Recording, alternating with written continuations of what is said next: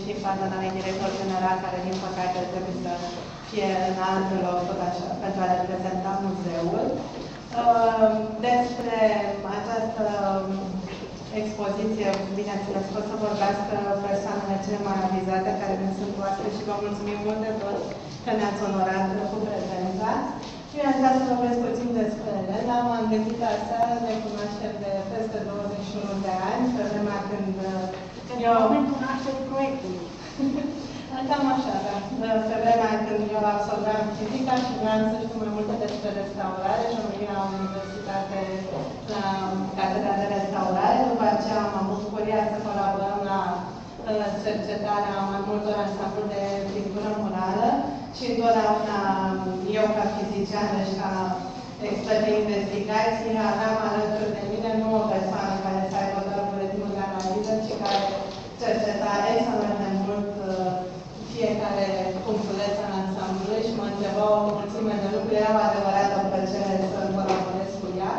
După aceea ne-am bucurat uh, de prezența aici și la sesiunile noastre de conservare, în care întotdeauna a fost aplaudată la scenă, mai ales la ultima întâlnire. Iar aici este ceea ce s-a întâmplat între sufletul ei și această apropiere de atâtea de atâtea zeci de ani de picturile și ansamblurile de murale din țara românească. Vă mulțumim încă o dată foarte mult pentru prezența dumneavoastră aici și sperăm să vă bucurați de, această, de acest eveniment.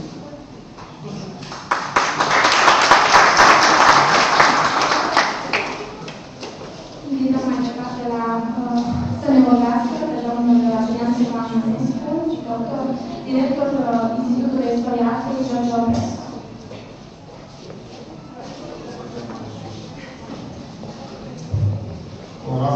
Onorată asistență, o expoziție nu trebuie obișnuit să fie constituită de la un an la altul, nu mai în caz. Iată o situație specială în care autoarea își gândește această expoziție de câteva decenii. Acum aflu că proiectul este început foarte de mult, iar rezultatul se poate constata de fiecare dintre domniile voastre. Este un gând împlinit, o creație completă, în care autoarea își centrează atenția spre niște martiri ai neamului, niște martiri ai neamului care au devenit și sfinți, au fost santificați, și pe care însă îi introduce în icoane.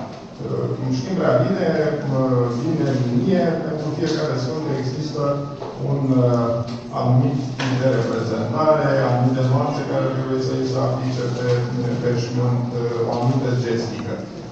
La Sfinții Brâncoveni, evident că nu a fost definitivată, așa că autoarea face un act de pionierat, oferind aceste simili icoane în zona plasticii și pregătindu-le pentru zona satului.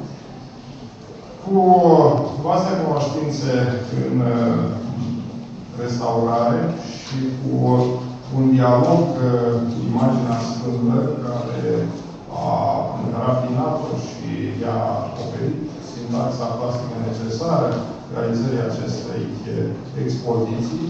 Autoarea ne plimbă din zona luminirii, din zona manuscrisului miniat, înspre uh, icoana de tâmplă, înspre uh, imaginea decorativă cu sens uh, sacral, într-un repertoriu extrem de bogat, nerepetitiv și cu mare forță evocatoare. În plastica românească există deja câteva familii de creatori care au atacat acest sau au abordat, hai să nu fim prea agresivi, acest gen, și care au lăsat opere de mare forță.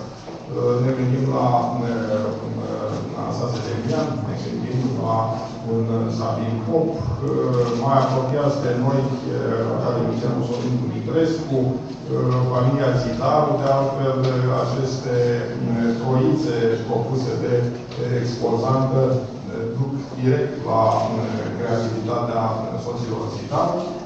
Dar iată că expozanta noastră este foarte punctuală, nu se îndepărtează de subiectul ales de Sfinții Grâncoveni și reușește să ofere o imagine completă, o imagine amplă, o imagine evocatoare asupra acestor martiri. O felicit și dau cuvântul mai departe celorlalți vorbitori.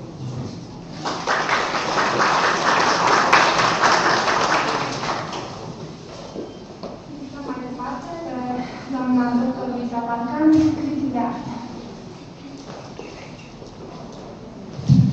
Bun găsit, onorată asistență, prezența dumneavoastră în număr atât de mare este cât se poate de grăitoare pentru a certifica un eveniment, un real eveniment uh, cultural.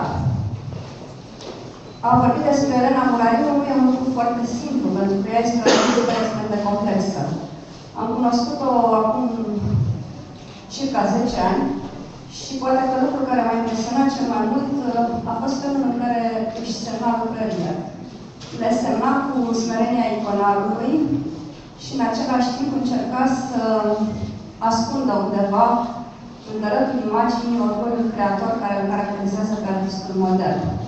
După cum vedeți și dumneavoastră, toate aceste lucrări așa sunt semnate de mâna Elenei Murariu. Pentru mine aceasta a fost o emblemă și, dacă vreți, o, un, un fel de a reuși să o cunosc pe artistă mai bine. Pe vremea când am cunoscut eu pe Elena Murariu, nu uh, se ocupa neapărat de, această, de acest minunat proiect uh, al reprezentării Martiriului Sfinților Brâncoveni. Desigur, preocupările ei erau uh, în aceeași zonă, erau în, se duceau spre zona sacră.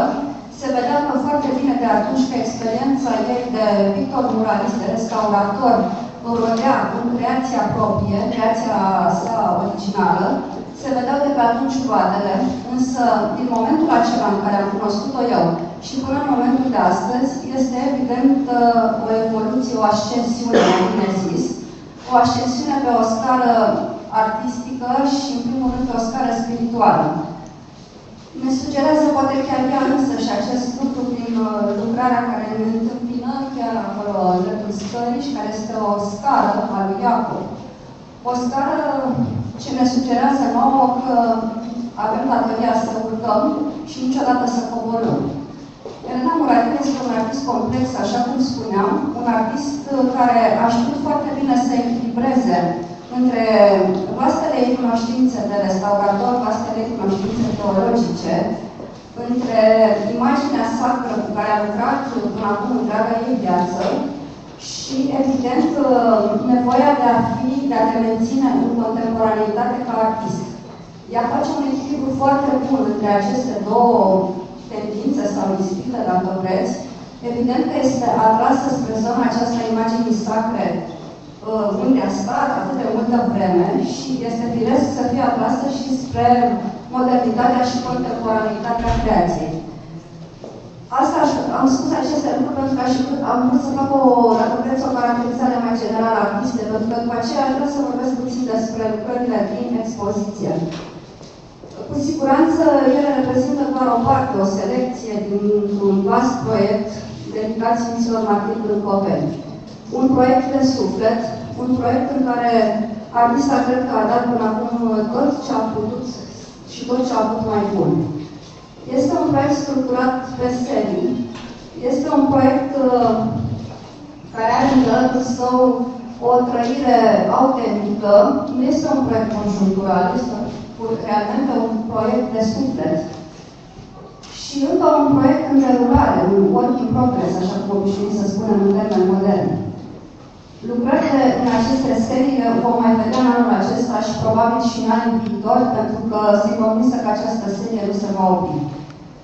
Ceea ce reușește să facă Elena Murariu cel mai bine, atunci când îi reprezintă pe Sfinții Vâlcoveni, este să realizeze o subtilă întoarcere într-o epocă um, frumoasă, dar și ciudată, dar și dură, dar și aspra istoriei noastre, în uh, epoca brâncovenească, reușește să facă acest salt în timp și să ne le voce și să ne voce și nouă acea epocă, să ne voce în egală măsură uh, frumusețea și duhovnicia ei, dar și unitatea.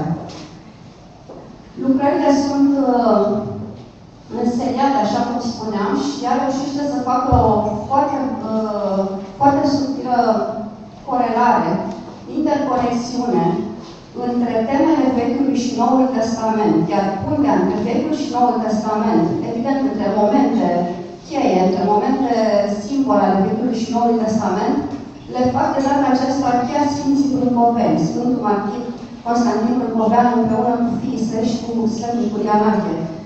Și un loc uh, la fel de important îl ocupă în uh, compozițiile acestea doamna Maria Brâncoveanu, pe care Elena Muradiu o consideră și pe drept cuvânt uh, sfântă și într-o foarte frumoasă lucrare de pe peretele de acolo, chiar mironosiță.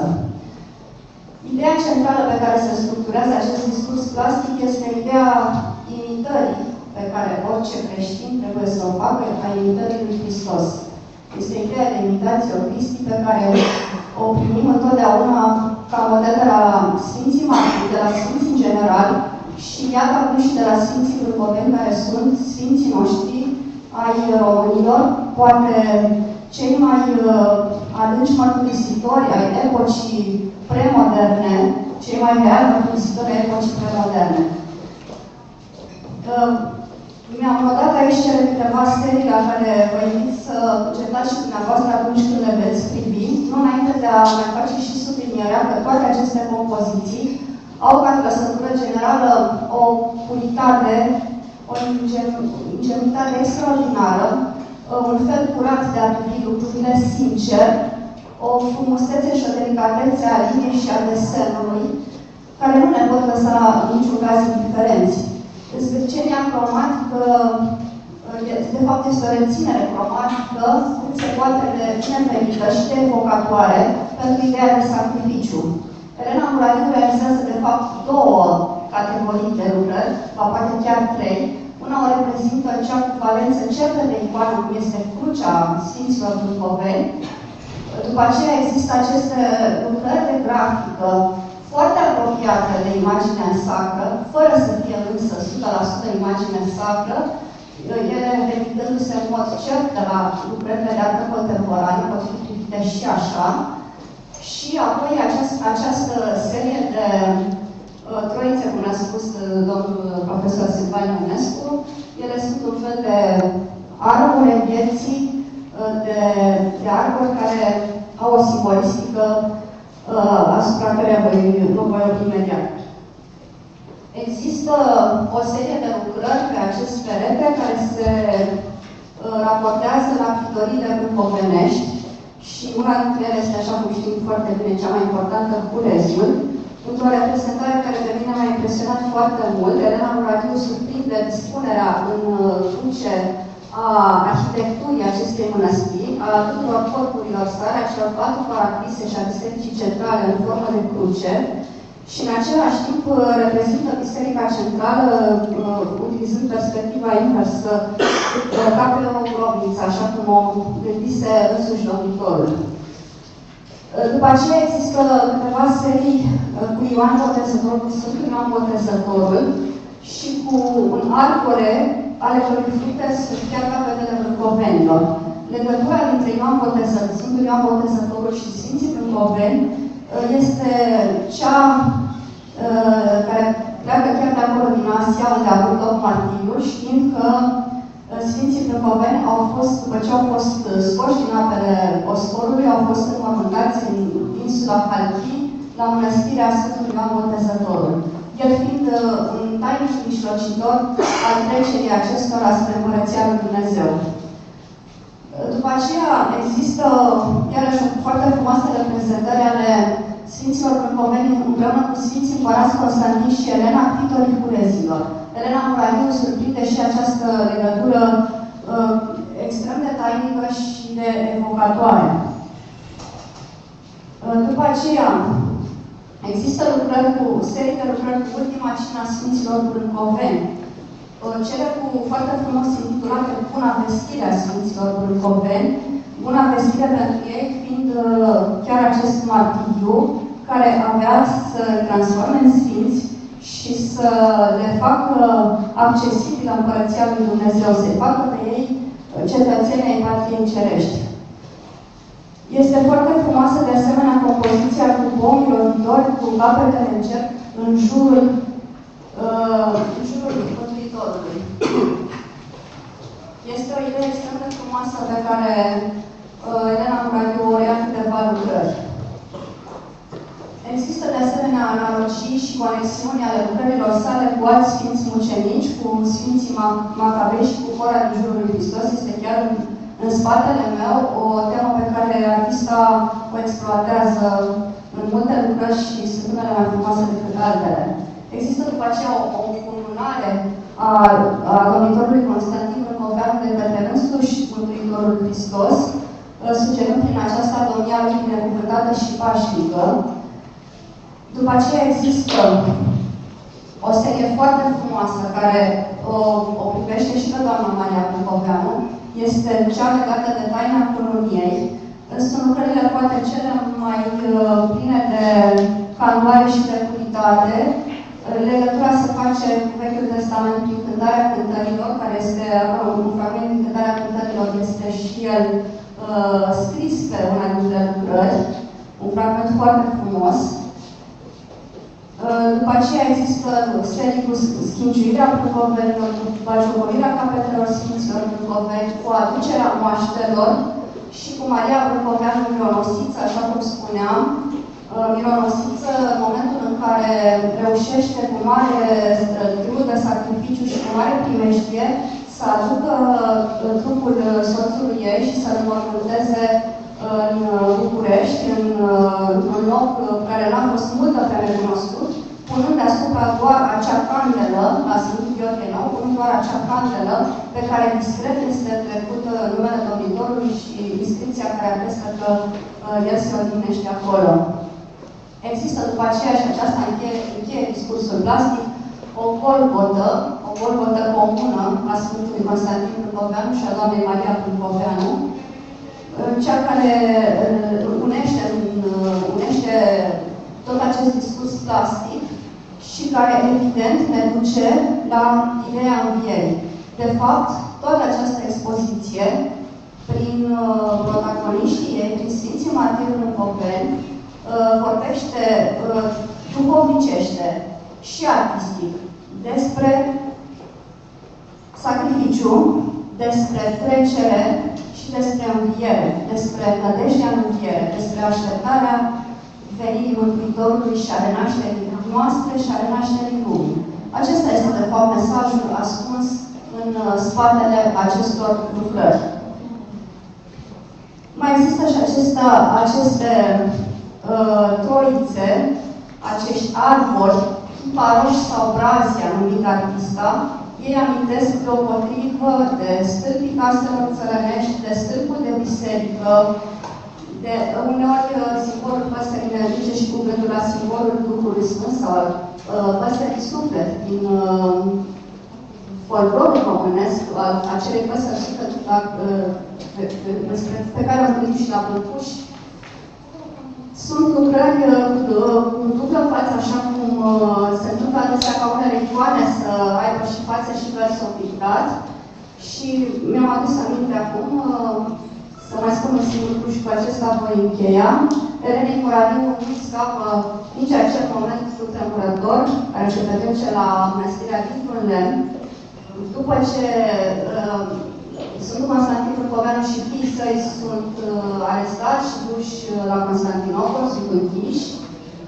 Uh, Păuna Cantacuzino împreună cu Ștefan Cantacuzino, cel care îl trădează pe Bucoveanu, merg la mănăstirea dintr-un lemn și în chiar ziua Pasnicului Adormirii Maicii Domnului, în fața icoanei făcătoare de minuni de la Dinul Lemn, Păuna are o viziune și vede cum Sfinții Martiri din Boveni sunt decapitați. Urmează o criză foarte puternică, care se aseamănă unei posesii. Maica Olimpiada, care le era avută, încearcă să află, află ce s-a întâmplat și încearcă cumva să ascundă, să să-și analizeze această întâmplare, Ștefan să prinde de veste, Ștefan Cantacuzino, și pentru ca nimic să nu iasă la iveală, o sândește pe Maica Olimpiada să fie zidită de vie, de vie într-o într-o grobniță, într-o chirie.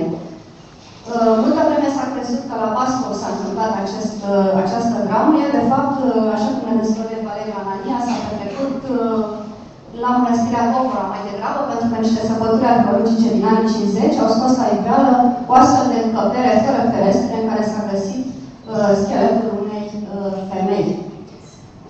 Se pare că Renei Moratiu nu scapă acest moment și are și o lucrare foarte frumoasă care face referire directă la acea icoană splendidă de la dintr-un lemn, o icoană care în sfârșit a fost restaurată așa cum trebuie și salvată și evocă și acest moment extrem de puternic duhovnicește și de evocator.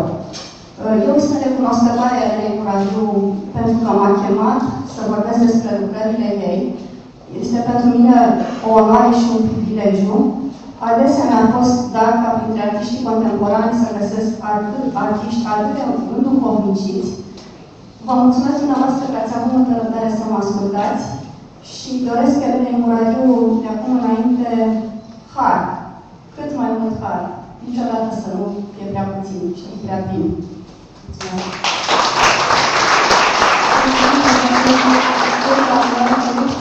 De artă și istorie. Invităm pe doamna doctor, profesor universitar doctor Alina Nanu. De ce m-am curat foarte mult? Să revăd și să văd mai departe ce am mai curat Elena Muradiu și prin intermediul ei să reiau o legătură de suflet cu Constantin Răcoveanu și familia lui. Gândindu-mă în ce timp a trăit acest uh, argumente declarat uh, mi-am dat seama de motivele adevărate pentru care eu apreciez atât de tare stilul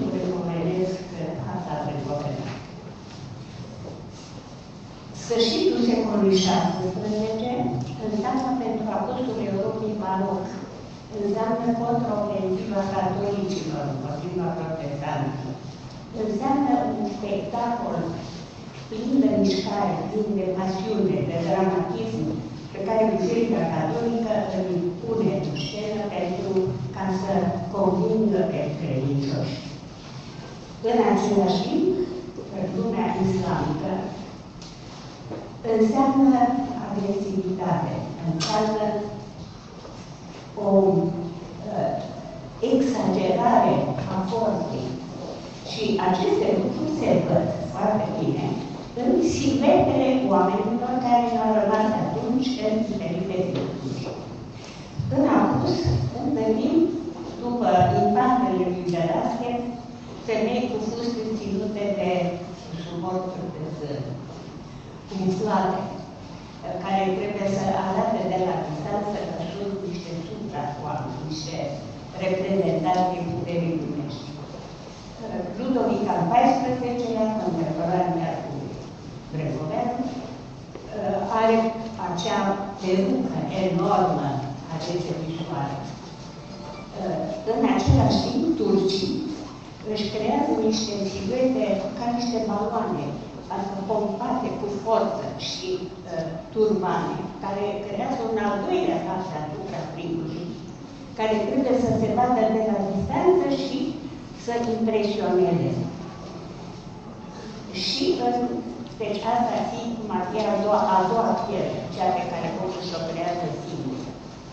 A treia piele a ambientului este de asemenea plină de exagerări și în August în baroc, în care uh, San Pietro este mărită toată biserica, pentru ca să încapă cât mai mulți credincioși, în care uh, Ludovic al XIV-lea își construiește Versailles, uh, o întindere până atunci necunoscută, în care uh, lumea islamică înscenează un fel de fugă în lumea pasului, fugă în lumea celor unești de nopți.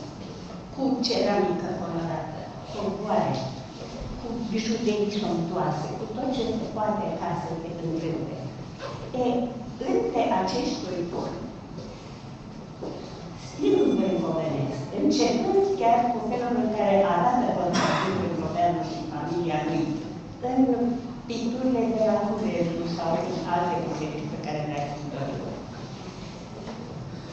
reprezintă o întoarcere sau reprezintă, de fapt, o întrupare a unui stări de spirit lipsite de aceste uh, extraordinare exagere, lipsite de artificialitatea unui spectacol dat cu niște interese materiale de a manipula uh, Marele uh, Constantin Brâcovean arată în aceste picturi aproape ca o coloană.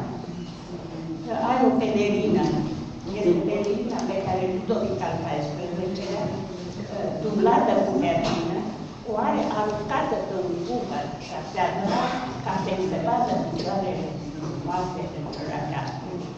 Sunt Alcim Brâncoveanu are haine decente, care îi acoperă liniștit tot trupul, ă, pentru că asta era viziunea ortodoxă, sufletul contează întâi corpul trebuie ascuns și niciun caz nu expus procentativ.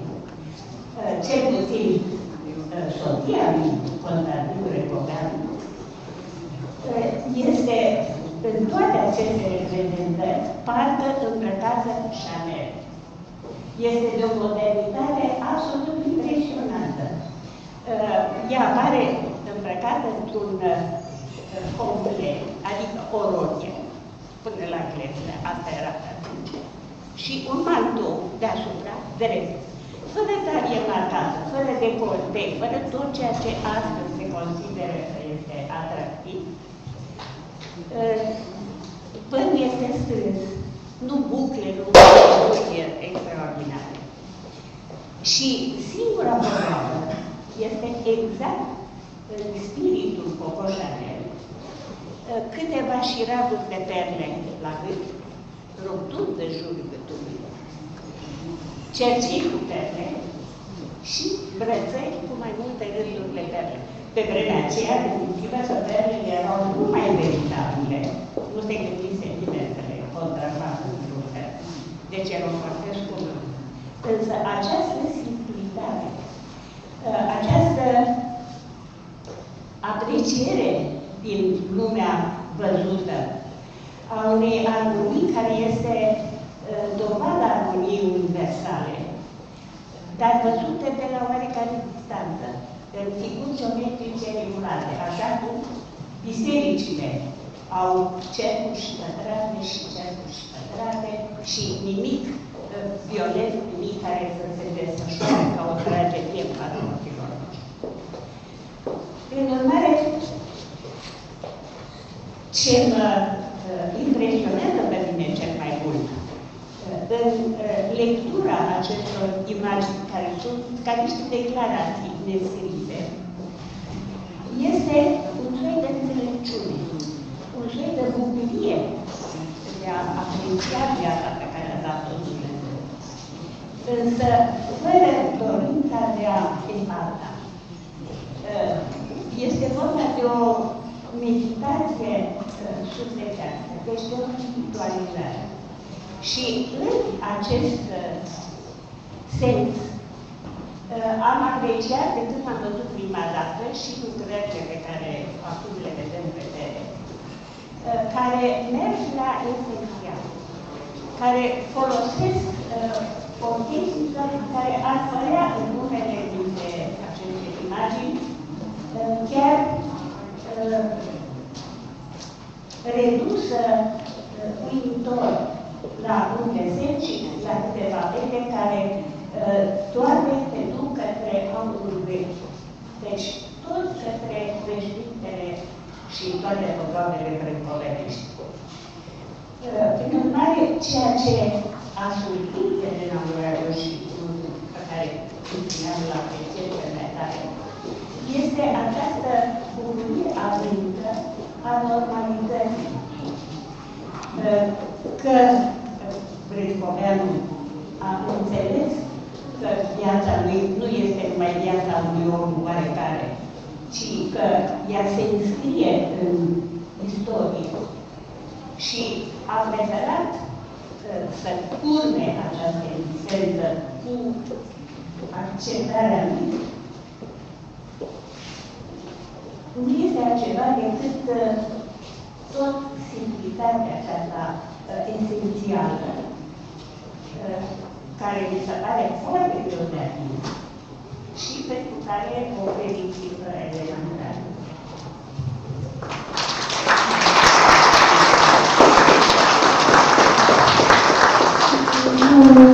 doamna Elena Murariu, restaurator și autoarea acestei filmate expoziții care înlocuiază această sală de expoziție la Muzeul Satului.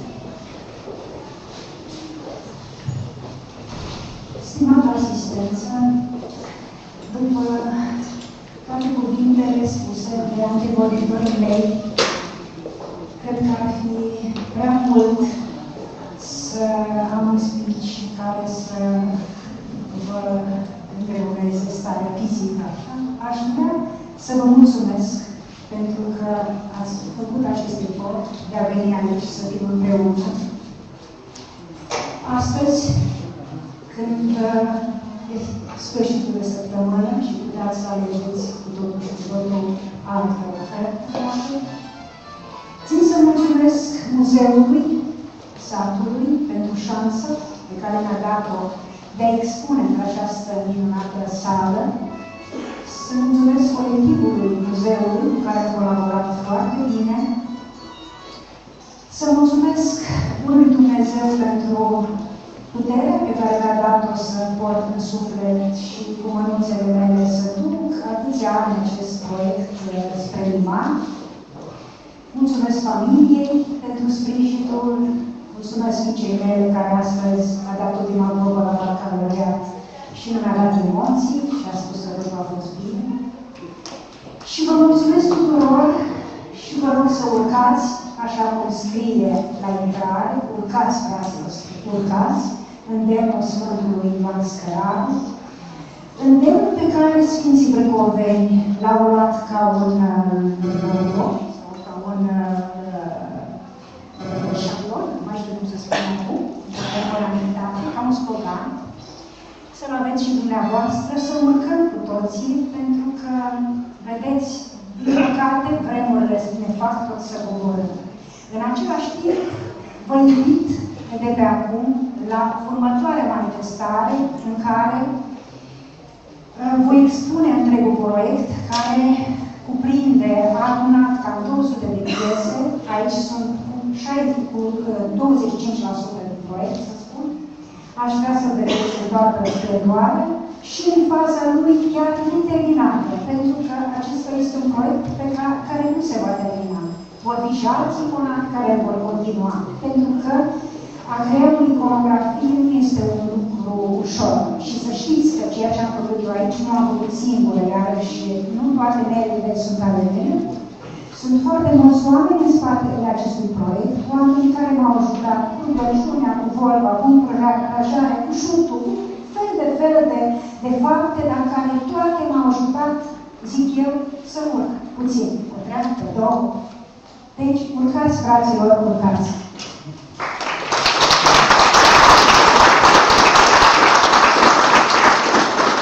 Mulțumim foarte mult pentru prezență, dragi invitați, mulțumim pentru cuvintele dumneavoastră, mulțumim uh, pentru că ne-ați făcut din această zi o adevărată întâlnire culturală, un, uh, un vernisaj extraordinar, o lecție de artă, istorie și uh, cu toate cu acestea fiind spuse, expoziția este deschisă, va rămâne pe smezele acestei săli până pe data de 27 august, iulie, și va putea fi vizitată între zilele, în, în zilele de miercuri până în duminică, între orele 11-19. Vă invităm și la un pahar de vin, să ciocniți alături de noi pentru această expoziție și vă așteptăm, așa cum a spus foarte frumos și doamna Lena Murariu, și la alte evenimente pe care Muzeul Satului le pregătește în, în apropiere. Și uh, trebuie să vă mai uh, mărturisim ceva. Uh, pe data de 17 iulie, vom avea aici, încă nu știm ora, dar vă vom comunica o vizionare de film, un film documentar despre această expoziție și despre activitatea doamnei Elena Murariu. Este realizat de Televiziunea Română în colaborare cu uh, doamna Elena Murariu și uh, este uh, un eveniment de excepție în cadrul acestui eveniment. Vă așteptăm așadar pe 17 iulie la vizionarea acestui film. Vă rugăm să veniți pentru că este o completare a ceea ce ați auzit aici și ceea ce vedeți aici. Și apoi, um, mai departe, în luna august, mai avem o expoziție dedicată martirilor în Coveni, pe data de 7 august, Camera de Veche se numește. Așa că, cu drag, vă invităm să vizionați expoziția și vă invităm la un pahar de vin. Vă mulțumim!